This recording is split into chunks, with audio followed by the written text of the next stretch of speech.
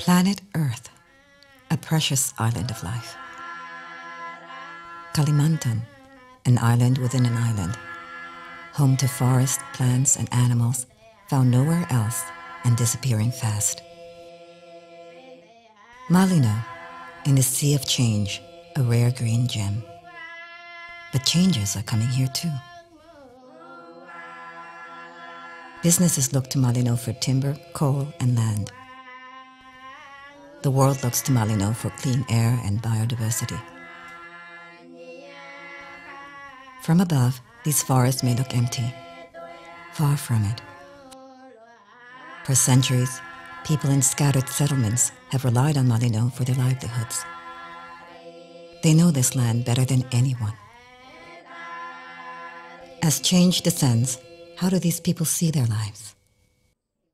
Hutan ini sudah habis keperluan masyarakat-masyarakat cari makanan apa tidak ada. Kita mengingatkan kalau habis nanti tanah ini bagaimana anak cucu kita. Itulah tidak ada harapan sudah.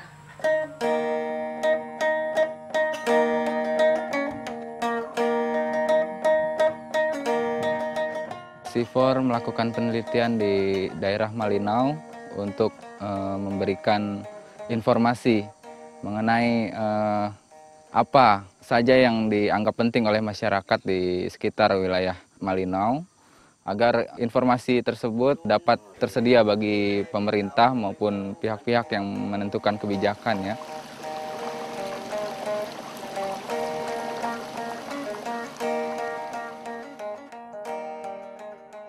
Kalau punan kai punan uron, wi jalan kai, dah mengau, dalak babui, dan nyupit, dan nyekuit, dan map.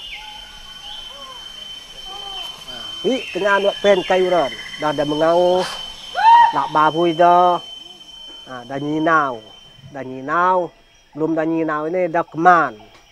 Nah, jangan apa dah nyekuit, jangan apa kai mohut, menak lepau. nak lepo lu turu ikai.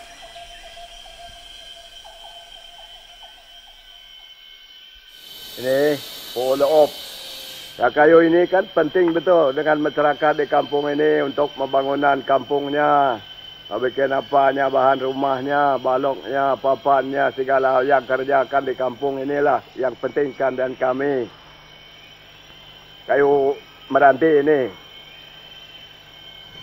Setiap bulan kadang-kadang dua kali masuk hutan untuk mencari pohon gaharu ini untuk membeli rokok, beli gula, beras.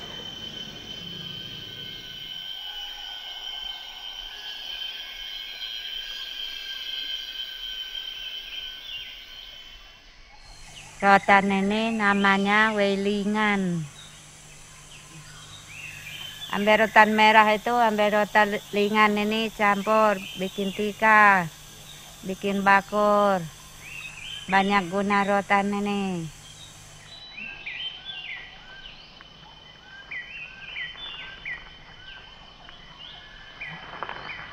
Ini pau jalai untuk saya ambil bikin kedabang ini. Kalau ini namanya semua orang uh, yau banta. Kalau sudah panas atau gembung perut anak-anak ini diambil dipunya ini pucuknya dikocak-kocak baru kasih panas catuk campur sama minyak kayu putih baru diulaskan di perut anak-anak yang gembung. Yau banta namanya.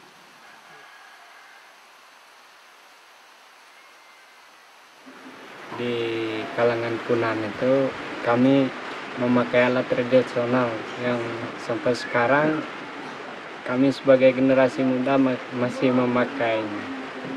Nah, yang ini namanya upit terbuat dari kaci. Nah, yang ini namanya tacom. Ini racunnya. Kalau tacom ini kena kita satu atau dua menit bisa kita mati bebas. Kalau sudah kehilangan anak sumpit ini bisa dipergunakan untuk tombak babi.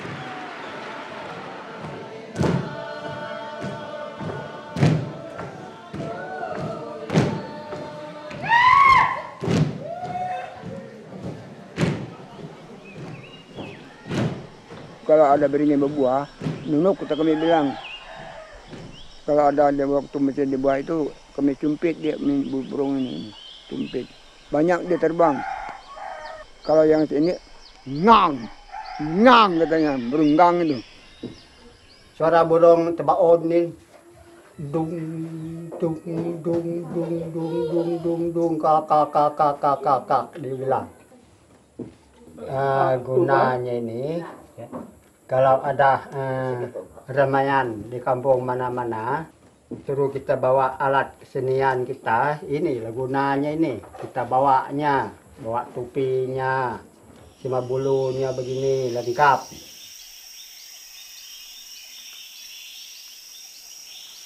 kuburan-kuburan adalah bukti tanah-tanah ini moyang kami namanya Langgaya.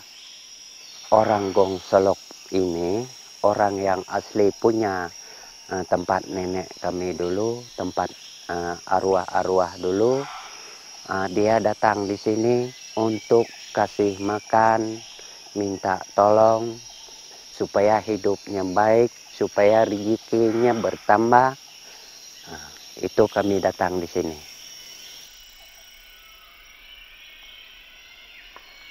Kalau untuk berladang biasanya kami itu cari lokasi dulu. Apakah dia datar ataupun dia bukit.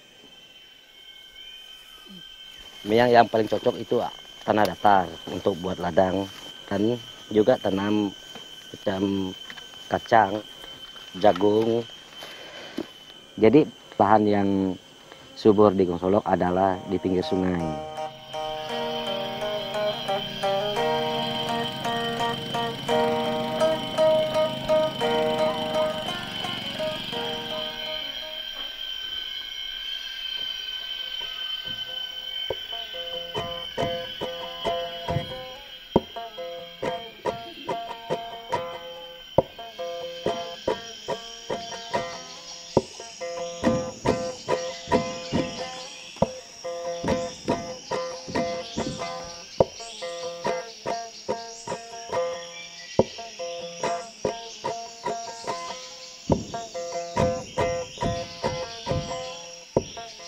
Borneo contains the most species-rich forests in Asia. We believe from our research that Malinau contains probably the richest forests in Indonesia. The more we look, the more new species we find. Working together with the local people, we recorded well over 2,000 plant species. That's probably only a very small fraction of the number of species found in Malinau. But what amazed us even more was most of these species were recognized by the local people, and almost three quarters of them had a use of value that the people were able to tell us. Kayu dipakai untuk apa? Untuk beli kung padi itu.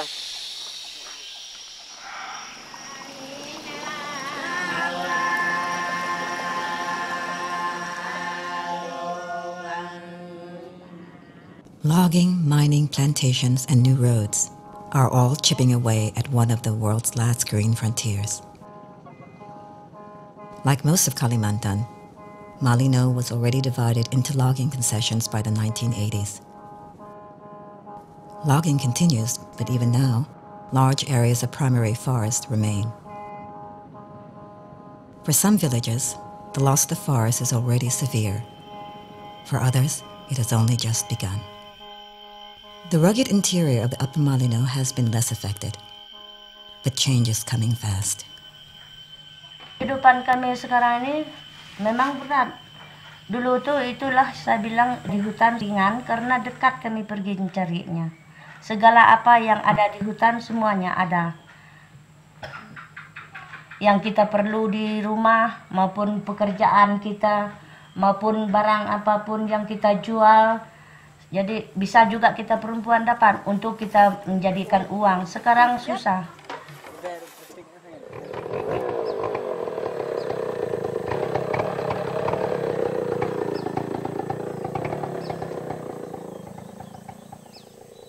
Di masyarakat Payah Seturan eh, selama ini tidak pernah eh, berpikir untuk menjual hutan kepada eh, investor, namun eh, masyarakat pernah menginginkan bekerja sama. Dan hasil hutan itu mau dipergunakan untuk membangun di dalam wilayah desa sendiri, itu membuat bangunan umum, selebih daripada itu, itu bisa disimpan untuk modal desa.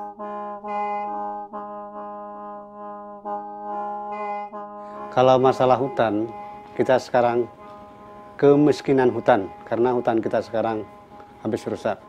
Sedangkan kita membuat bahan bangunan sekarang tidak bisa.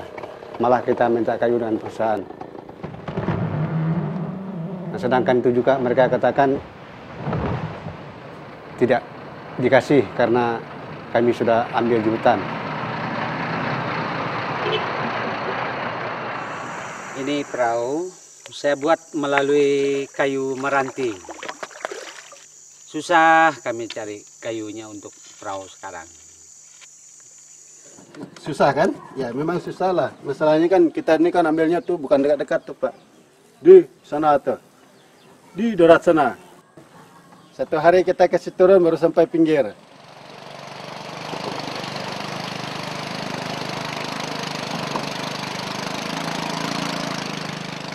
Perusahaan yang pertama datang di sini dulu itu semua keperluan kita di dalam hutan itu habis ditebasnya. Seperti daun silatnya, rutannya, apa segalanya itu ditebasnya. Kalau sekarang kami tidak melepas seperti itu Pak. Pokoknya kayu yang bisa dibuat, kayu kayu bisa diambilnya, itu aja yang diambilnya, jangan ditebas lagi. Memang sekarangnya dengan dulu berbeda. Soal sekarang ini banyak perusahaan yang masuk merusakkan wilayah hutan kami ataupun di dalam daerah kami. Jadi tidak adalah tempat tanah yang subur untuk kita beladang dan berkebun. Jadi penghidupannya itu tidak bagus, jahat. Ke depan hutan kita semakin hari semakin berkurang.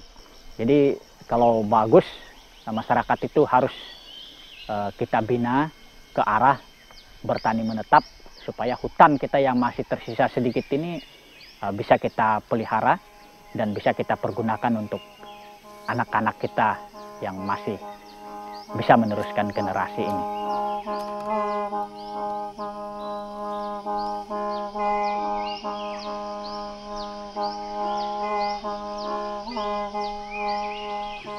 Tentang kisah-kisah uh, masyarakat Mirau yang pindah dari dari Hulu Mirau sampai ke Labanyarit.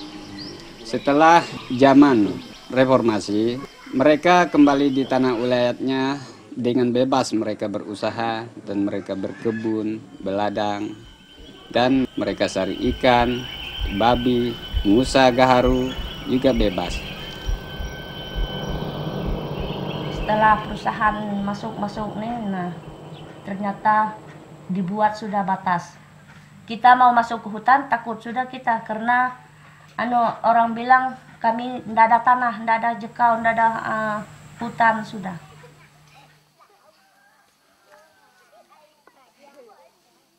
Memang waktu perusahaan masuk di sini dia janji uang uh, satu kubiknya tujuh ribu rupiah. Dia kasih mesin lampu satu. Dia kasih uang jakah 25 juta satu desa. Dulu itu cari binatangnya lebih mudah, lebih banyak. Karena dulu itu tidak ada yang mengganggu. Sepertinya perusahaan maupun orang Dulu itu orang tidak pakai ketinting, orang pakai tangga, dayung. Kalau menjala paling-paling dapat 10 ekor. Kurang sudah ikannya. Dulu kami mau minta sama perusahaan air bersih. Tidak darang mau anu. Hirau kami dengar paksa gitulah minum air keruh.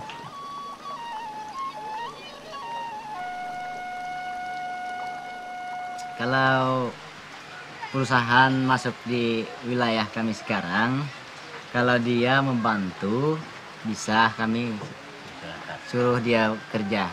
Kalau tidak membantu kami stop kami demo. Nah. Dulu memang ada perusahaan setelah dia tutup. Jadi masyarakat Limutai yang tinggal di Limutai ini melihat uh, wilayah daerah yang digarap perusahaan itu uh, menyedih sekali. Soalnya kayu-kayunya sudah tidak ada, rotan-rotan yang apanya tidak ada, kayu gaharunya juga pun didorong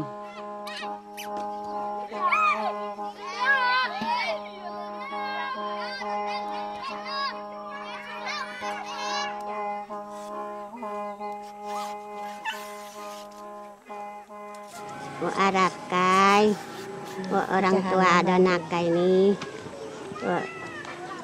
ajak kai ando. Didik kai ando do cikula sampai do de sampai do de jadi. Sampai do padai. Ina honyong kai anda nakai depan da nakai anda padai morip anda padai bertindak tindakan acil-acil hutan dauli ano ina jangan sampai dan nakai nambiak kayu orang tua ada ini. Utauruk ang sekolah. Kena. Saya rasa mungkin dari pendidikan lah bisa melindungi hutan. Kalau tidak ada pendidikan hutan diapakan? Paling dilihat untuk berjalan berburu lewat sini sana tidak ada guna juga nanti datang perusahaan dikuasai oleh perusahaan. Masyarakat tinggal nonton.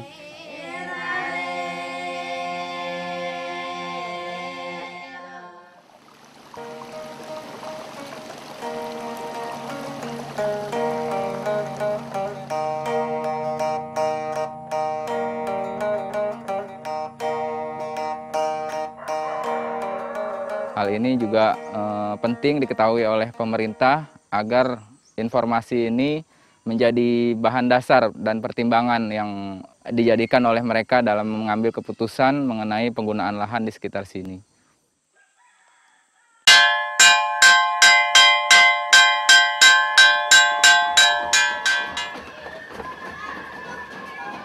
Melalui poster yang sudah ada di sini ini, kami sebagai warga masyarakat Malinau melihat kegiatan yang sudah dilaksanakan secara bersama ini, kami merasa bangga dengan pengetahuan yang sudah ada atau yang sudah kami miliki ini. Oleh karena itu kami sadar dan siap mau bekerja sama untuk memelihara daripada keistimewaan Malinau, uh, hutan Malinau ini. Telah mempelajari daripada poster hasil daripada penelitian itu sampai kepada pembuatan film ini apabila pemerintah bisa menanggapi daripada keluhan-keluhan masyarakat itu seperti informasi yang mereka terima baik langsung daripada tim peneliti baik mungkin itu suara-suara dari masyarakat kecil akan bisa mencapai hasil yang baik. So what kind of alternatives are there for developing the Upper Malinau? Well, any development option in that region would have to consider the very steep slopes and the relatively poor soils of the area. So the kinds of options that leaves us with are issues such as reduced impact logging and potentially other kinds of forest use, products like gaharu and rattan that perhaps could be developed on a more economic long-term basis in the region.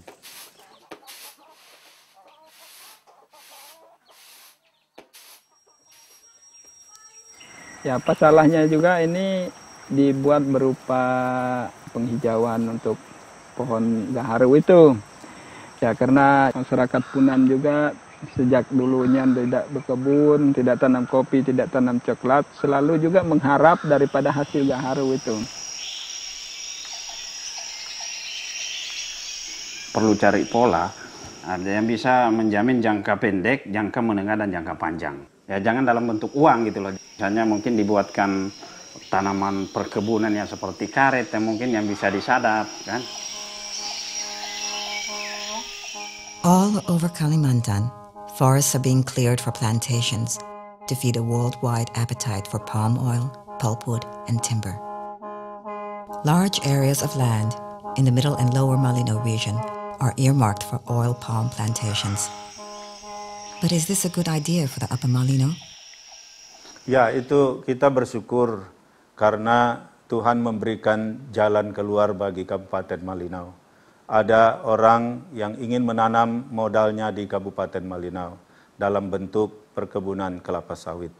Nah, untuk diketahui bahwa sampai saat ini uh, perjanjian untuk hal itu sudah ditandatangani. Tinggal pelaksanaan lagi. Di daerah-daerah lain selain Hulu Malinau, perkebunan kelapa sawit itu mungkin akan menjadi suatu alternatif yang bisa mendatangkan keuntungan untuk meningkatkan kesejahteraan masyarakat.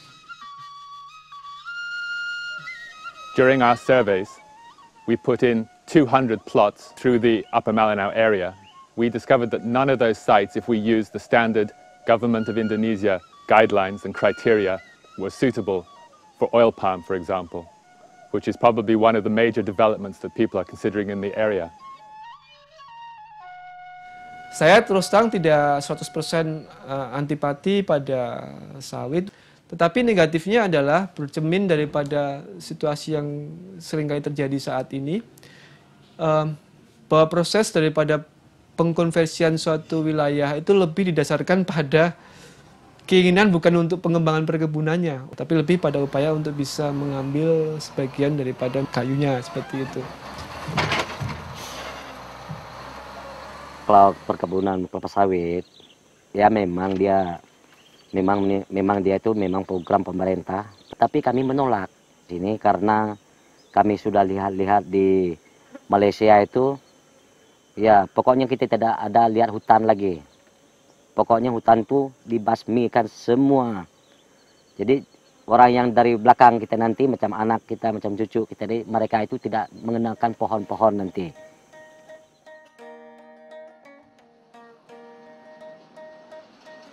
Promoting economic progress without environmental costs is a challenge. Land use choices most likely to succeed are those based on well-informed democratic approaches, public consultation, and recognition of local needs. People may not always agree, but they can work together to identify the best compromises and mutually acceptable options. Memang masyarakat sini belum tidak mau kehilangan hutan ya, karena kepentingan-kepentingan masyarakat di sini masih berkatakan banyak dari hutan.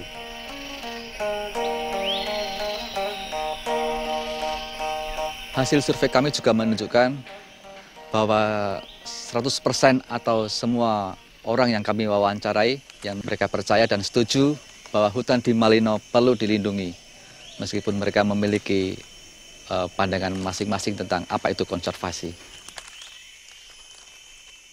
Kalau kita lihat itu sampai sekarang masih masyarakat menginginkan supaya hutan itu dilindung. Seperti todok saja yang artinya kita mau supaya itu kita lestarikan karena kita mau ambil di situ daerah air bersih. Kita mengharapkan pemerintah pusat yang mempunyai kewenangan di bidang konservasi ini memberikan uh, suatu dukungan yang serius terhadap bagaimana pemikiran Malino untuk menjadikan Malino sebagai kabupaten konservasi. Sehingga nantinya kita bisa duduk bersama, baik Pemda bersama dengan provinsi dan pusat mengatur bagaimana pengelolaan hutan konservasi Manado yang masih virgin ini untuk kepentingan masyarakat dan pembangunan bangsa kita dan dunia di masa-masa yang akan datang. Saya mengharapkan di sini penggalian dari masyarakat ini lebih pada aspek untuk mendiskusikan dengan pemikiran yang dari pihak Pemda tadi. Pemda bisa melihat berdasarkan fakta kondisi misalnya biofisik, masyarakat bisa muncul dengan aspirasi mereka, lalu kita bisa combine itu menjadi satu kesepakatan. Apa yang baik untuk lingkungan dan untuk masyarakat. Poinnya adalah hutan dan daerah eh, dan lahan di daerah ini itu menyangkut eh, masa depan kita bersama. Salah kita kelola, kita akan membayar ongkos yang amat eh, mahal di masa depan. Kalau untuk di hutan kita, hutan kami itu kami tetap pertahankan. Karenanya sumber kehidupan kami dari situ. Maupun kami di kota, maupun kami di kampung, tetap kami apanya mempertahankan kami punya wilayah daerah karenanya sumber hidup kami. Opinions in Malino are varied, but they do agree on one thing. Forests are important, vitally important. When used wisely, forests can continue to provide a wide range of values to local people and to the world. But will there be forests in Malino in 50 or even 10 years? If so, where will they be? Who will own them? And how will they be used? Can we find a common vision where forests still stretch across the horizons into the future? When we think about this, let's remember the vision of the people who live there. Hutan adalah yang terpenting bagi masyarakat setempat. Karena bagaimanapun juga manusia dan lingkungan itu tidak tidak dapat ber, terpisah.